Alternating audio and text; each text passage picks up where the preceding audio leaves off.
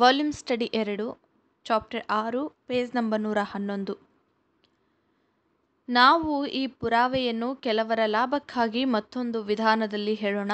ದೇವರು ಪ್ರತಿಷ್ಠಿಸಿದ ಜೂಬಿಲಿ ಆವೃತ್ತಿಯ ಪೂರ್ಣ ಸಂಖ್ಯೆಯು ಎಪ್ಪತ್ತು. ಸರಳ ಹೇಳಿಕೆಗಳು ತೋರಿಸುವಂತೆ ಎಪ್ಪತ್ತು ವರ್ಷಗಳ ಅವರ ಭೂಮಿಯು ಪಾಳು ಬೀಳುವಿಕೆಯೇ ಇದಕ್ಕೆ ಕಾರಣ.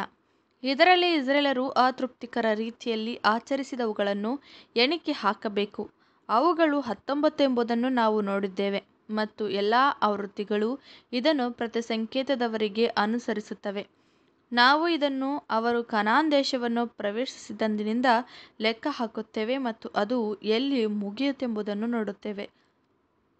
ತಾರ್ಕಿಕ ಸಿದ್ಧಾಂತವೆಂದರೆ ಈ ಸಂಗತಿಗಳನ್ನು ದೈವಿಕ ಕ್ರಮವೆಂದು ಒಪ್ಪಿಕೊಳ್ಳುವುದಾದರೆ ಇದನ್ನು ಸುಲಭವಾಗಿ ಒಲಿಸಿಕೊಳ್ಳಬಹುದು. ದೈವಿಕವಾಗಿ ವ್ಯವಸ್ಥೆ ಮಾಡದೆ ಹೋಗಿದ್ದರೆ ಅವುಗಳು ಎಲ್ಲಿಂದ ಬಂದವು? ನಾವು ಅದನ್ನು ಸ್ಫೂರ್ತಿದಾಯಕ ಮಾತಿನಲ್ಲಿ ಹೇಳುವುದಿಲ್ಲ.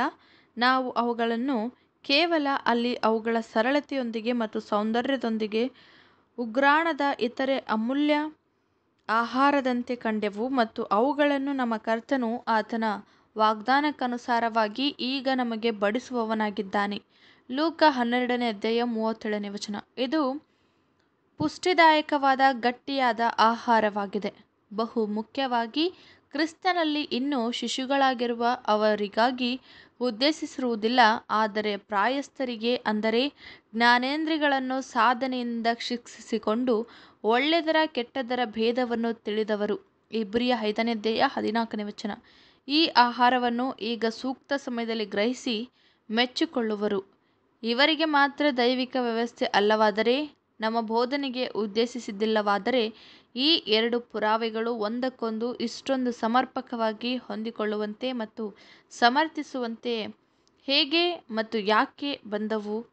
ನಿಮ್ಮಷ್ಟಕ್ಕೆ ನೀವು ಈ ದೈವಿಕ ಕ್ರಮವನ್ನು ಮನದಟ್ಟು ಮಾಡಿಕೊಳ್ಳಲು ಈ ಎಪ್ಪತ್ತು ವರ್ಷಗಳ ಸಬ್ಬತ್ತುಗಳು ಪಾಳು ಬೀಳುವಿಕೆಯ ಸಮಯದಲ್ಲಿ ಮಹಾ ಜೂಬ್ಲಿಯೊಂದಿಗೆ ಐವತ್ತೆಂಟು ಐವತ್ತು ವರ್ಷಗಳು ಸಾಮರಸ್ಯಗೊಳ್ಳುವಂತೆ ಬೇರೆ ಯಾವ ಸ್ಥಳದಲ್ಲಿಯೂ ಮಾರ್ಗದಲ್ಲಿಯೂ ಇಲ್ಲವೆಂಬುದನ್ನು ಗಮನಿಸಿರಿ ಮತ್ತು ಪ್ರಯತ್ನಿಸಿರಿ. ರುಜುವಾತುಪಡಿಸಿರಿ. ಬಹುಶಃ ಎರಡರಲ್ಲಿ ಒಂದು ತಪ್ಪಾಗಿದ್ದರೆ ಅಥವಾ ಇಸ್ರೇಲರು ಆಚರಿಸಿದ ಹತ್ತೊಂಬತ್ತು ಜುಬ್ಲಿಗಳ ಒಂದರಲ್ಲಿ ಬದಲಾವಣೆ ಇದ್ದರೆ ಬಹುಶಃ ಹದಿನೆಂಟು, ಒಂದು ಕಡಿಮೆ ಅಥವಾ ಇಪ್ಪತ್ತು, ಒಂದು ಜಾಸ್ತಿ ಪಾಳು ಬೀಳುವಿಕೆಯ ಎಪ್ಪತ್ತು ವರ್ಷಗಳು ಪ್ರಾರಂಭವಾಗುವ ಮೊದಲು ಗತಿಸಿ ಹೋಗಿದ್ದರೆ ಇದನ್ನು ಲೆಕ್ಕ ಹಾಕಿ ನೋಡಿದಾಗ ಇದರಲ್ಲಿ ಎರಡು ಪ್ರಕಾರದ ಪುರಾವೆಗಳು ಕಂಡುಬರುತ್ತವೆ. ಮತ್ತು ಈ ಎರಡು ಪುರಾವೆಗಳು ಒಂದಕ್ಕೊಂದು ಅನ್ಯೂನ್ಯವಾಗಿ ಸಾಕ್ಷ್ಯವನ್ನು ಒದಗಿಸುತ್ತವೆ.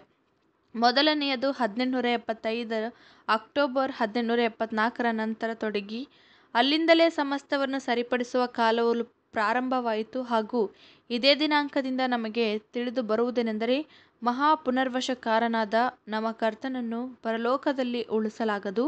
ಇದರಿಂದ ಕಾಲಗಣನೆಗೆ ಮತ್ತು ಮುಂದೆ ಪರೀಕ್ಷಿಸಬೇಕಾದ ಪ್ರವಾದನೆಗಳಿಗೆ ಭಂಗಪಡಿಸದೆ ನಿರ್ಣಯಕ್ಕೆ ಬರಲು ಇದು ಆಧಾರವಾಗಿದೆ. ಈ ಕಾಲ ಪ್ರವಾದನೆಗಳು ನಮಗೆ ಏನನ್ನಾದರೂ ಬೋಧಿಸುವುದಾದರೆ, ಅದು ಆ ಮಹಾ ಜುಬ್ಲಿ ಸಮಸ್ತವನ್ನು ಸರಿಪಡಿಸುವ ಕಾಲಗಳು ಪ್ರಾರಂಭವಾಗಿದೆ. ನಾವೀಗಾಗಲೇ ಮಿಲಿಯಾಂತರದ ಉದಯ ಕಾಲದಲ್ಲಿದ್ದೇವೆ.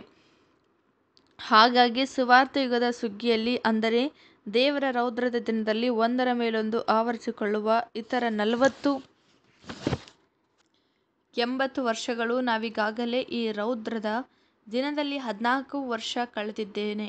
ಹಾಗೂ ಅಭ್ಯುದಯಕ್ಕಾಗಿ ತ್ವರಿತ ಸಿದ್ಧತೆ ನಡೆಸಲು ಹೆಣಗಾಡುತ್ತಿದ್ದೇವೆ. ಹಾಗೂ ಸುವಾರ್ಥಯುಗದ ಸುಗ್ಗಿ ಘಟನೆಗಳಲ್ಲಿಯೂ ಈ ನಲವತ್ತು ವರ್ಷಗಳ ಕಾಲದಲ್ಲಿ ನೆರವೇರುವವು. ಬರಲಿರುವ ಇಪ್ಪತ್ತಾರು ವರ್ಷಗಳು ಪ್ರಸ್ತುತ ಕಾಲದಿಂದ ಬರೆದಿರುವುದನ್ನೆಲ್ಲ ನೆರವೇರಿಸಲು ಸಾಕಷ್ಟಾಗಿರುತ್ತದೆ. ದೇವರಿ ವಾಕ್ಯವನ್ನು ಆಶೀರ್ವದಿಸಲಿ. ಆಮೇನ್.